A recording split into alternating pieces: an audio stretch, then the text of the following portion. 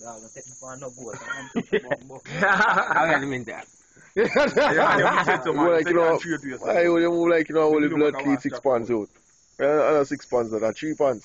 You know the goat now when? You thief your pussy hole and only six A pounds. goat 45. It's a G forty five. Bomb back and keep your pop. and keep your pop that bitch. Hey, what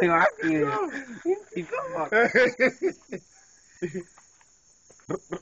Boy, interesting.